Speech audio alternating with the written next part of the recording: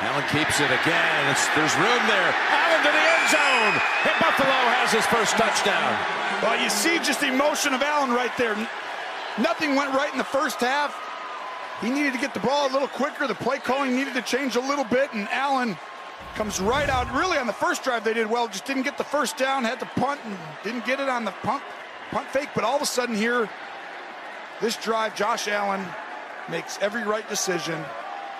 Got the ball out fast. Oh, this is not over. Now this drive becomes big the other way.